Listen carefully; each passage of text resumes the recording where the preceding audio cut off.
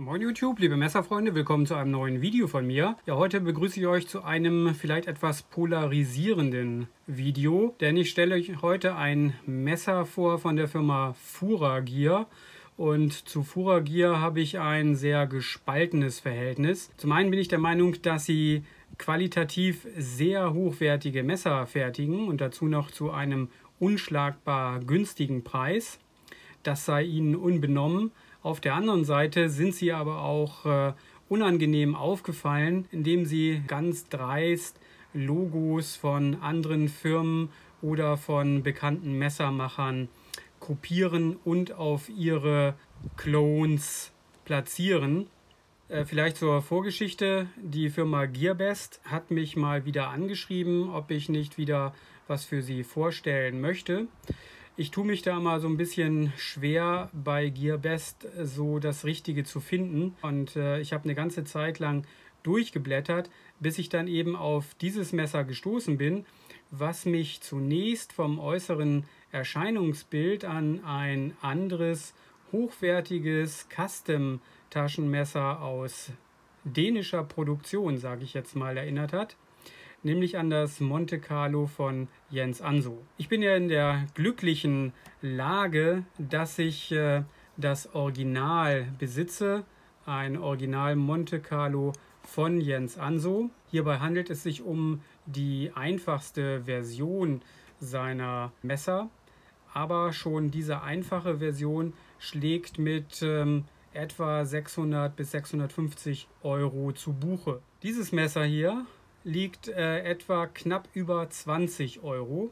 Das heißt, ich bekomme 30 Messer von diesen für eines dieser Custom-Taschenmesser von Jens Anso. Und ich war jetzt einfach neugierig darauf, dieses günstige Messer hier einmal kennenzulernen.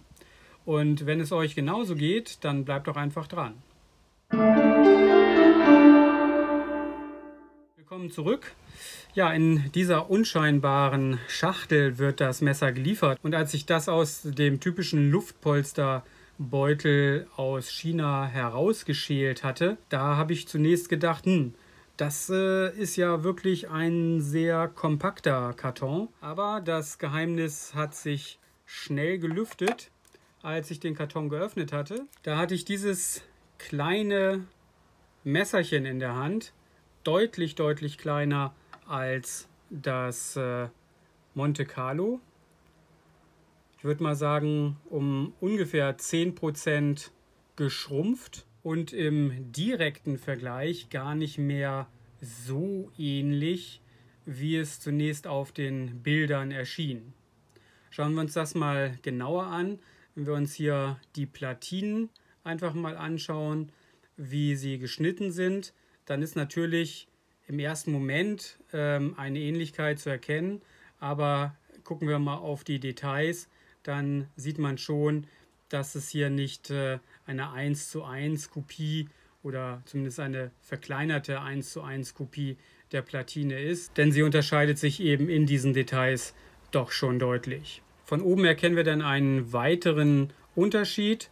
Das äh, Furagear Messer hat keinen Backspacer, sondern nur zwei Abstandshalter. Diese sind wahrscheinlich aus Messing und was wir dadurch dann eben auch nicht haben beim Monte Carlo ist die Fangriemenöse hier in den Backspacer eingearbeitet, während wir beim Furagear nur einen einfachen Durchbruch durch die beiden Titanplatinen haben. Wohlgemerkt Titanplatinen und dazu noch sehr schön anodisierte Titanplatinen, wie ich finde.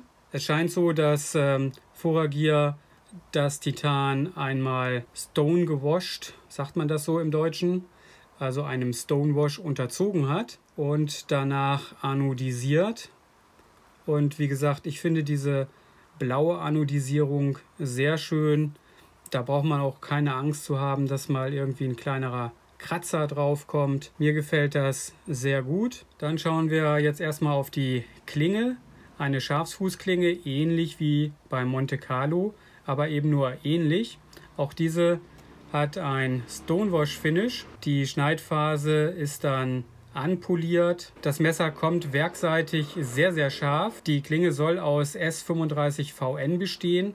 Äh, hier ist äh, keine Bezeichnung auf der Klinge selbst zu finden, was den Klingenstahl angeht. Nur der Furagier Schriftzug, ähm, der meiner Meinung nach eher hässlich ist und auf den ich gut und gerne verzichten könnte. Ich bin der Meinung, dass Fura sich hier einfach mal ein vernünftiges, eigenständiges Logo ausdenken sollte, das sie dann eben auch auf äh, all ihre Messer aufbringen und äh, somit auf ähm, den Gebrauch von Fremdlogos vollständig verzichten könnte. Schauen wir uns jetzt beide Klingen nochmal im Vergleich an. So erkennt man auch hier leichte Unterschiede.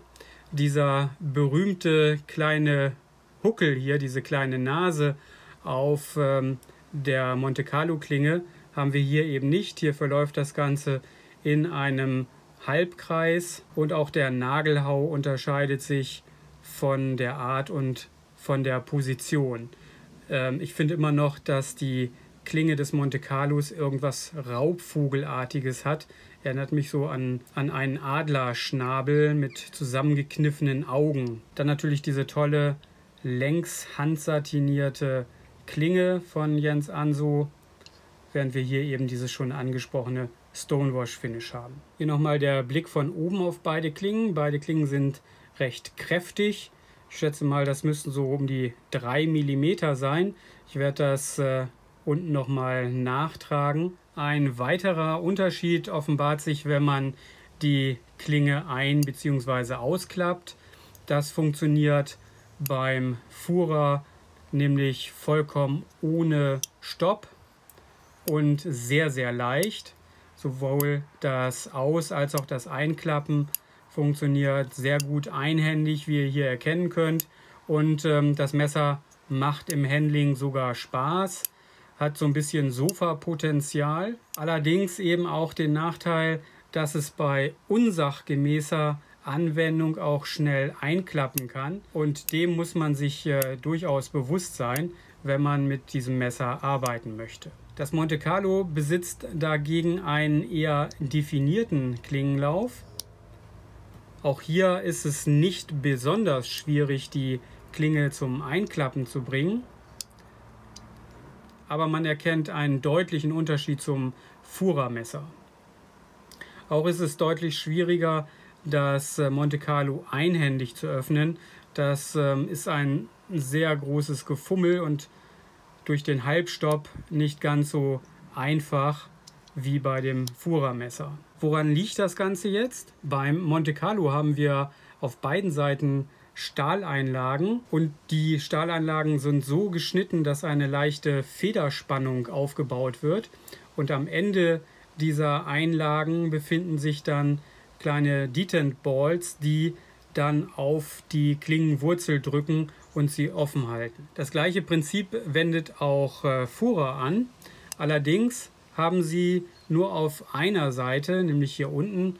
Ich fürchte, das lässt sich hier im Video jetzt nur sehr schwer einfangen. Jedenfalls haben sie hier nur im unteren Bereich diese Stahleinlage und es drückt eben auch nur von einer Seite dann eine Detent-Kugel auf die Klingenwurzel. Und das führt eben dazu, dass der Klingenlauf hier wesentlich leichter ist und äh, das Fehlen eines Zwischenstopps macht das Öffnen und Schließen der Klinge mit einer Hand eben wesentlich einfacher als beim Monte Carlo. Und hier noch der obligatorische Vergleich mit äh, meinem Victorinox Pioneer. In diesem Vergleich zeigt sich, dass das Fura ein sehr, sehr kompaktes Messer ist. Kommen wir jetzt zum Fazit. Ja, ich muss ähm, ganz ehrlich sagen, es fällt mir sehr, sehr schwer, dieses Messer zu verfluchen und äh, in irgendwelche Flüsse zu schmeißen. Auch wenn ich die Leute verstehen kann, die auf äh, Fura nicht gut zu sprechen sind,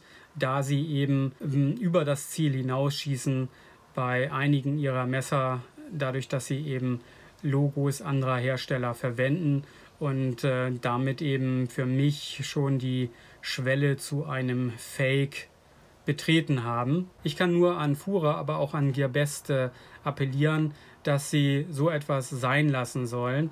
Ähm, Fura hat es einfach nicht nötig, ähm, westliche Designs einfach ähm, abzuklöppeln.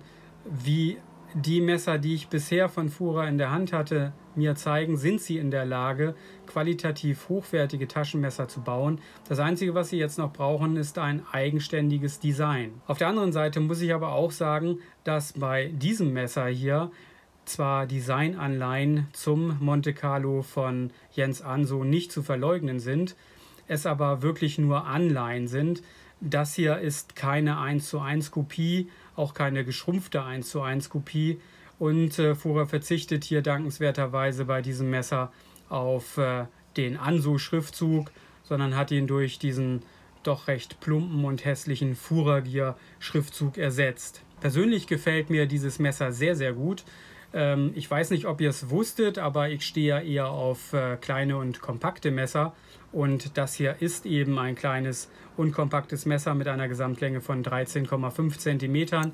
Passt es äh, in die kleinste Tasche, äh, sei es nun in die fünfte Jeans-Tasche oder wie bei meinen Joker Jeans in die kleine zusätzliche Messertasche. Das verschwindet einfach und äh, ihr habt es auch gemerkt, dieses Messer verzichtet komplett auf einen Clip für mich überhaupt kein Problem, weil es eben so klein ist und relativ leicht. Verschwindet es einfach in der Hosentasche und äh, macht das Arbeiten mit dem Messer sogar noch angenehmer. Mich stören Clips, seien sie auch noch so gut gemacht. Da passt meistens die Handlage dann nicht mehr. Irgendwo hat man dann doch Druckstellen äh, und äh, da gefällt mir ein Messer ohne Clip deutlich besser. Dann kommt eben noch die coole Farbe dazu. Dieses Blau mag ich eben auch sehr gerne.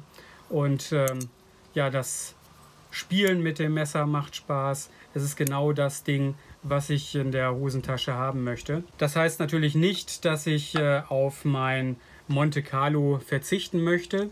Das ist sozusagen eines äh, der Messer, das mich wahrscheinlich auch so nicht wieder verlassen würde, es sei denn, ich entscheide mich irgendwann nochmal für ein anderes Monte Carlo. Letztendlich äh, müsst ihr es natürlich entscheiden. Ihr habt hier bei Gearbest die Möglichkeit, ein Messer für gute 20 Euro zu bekommen, das sicherlich in der Lage ist, als kleiner täglicher Begleiter und sei es eben als Backup-Messer alle kleineren Schneidaufgaben des Tages mit Bravour zu erledigen. Ich habe das Messer jetzt so für zwei, drei Wochen getestet. Ich hatte es mit auf die Arbeit, habe mir damit mein Obst geschnitten, habe äh, Briefumschläge geöffnet, kleine Pakete. All das war überhaupt kein Problem.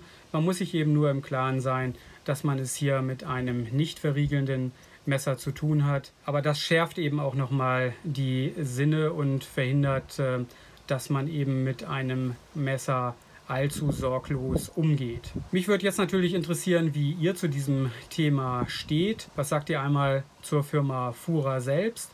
Und äh, wie gefällt euch dieses Messer? Würdet ihr dieses Messer für euch kaufen als kleines günstiges äh, Taschenmesser oder lehnt ihr sowas vollkommen ab? Unterstützt ihr das Ganze nicht, weil ihr sagt, euch ist das einfach zu nah am Original. Ja, das soll es gewesen sein. Ich hoffe, es hat euch gefallen und ihr seid auch beim nächsten Mal wieder dabei, wenn es bei mir heißt, Moin YouTube, liebe Messerfreunde. Bis dahin, tschüss.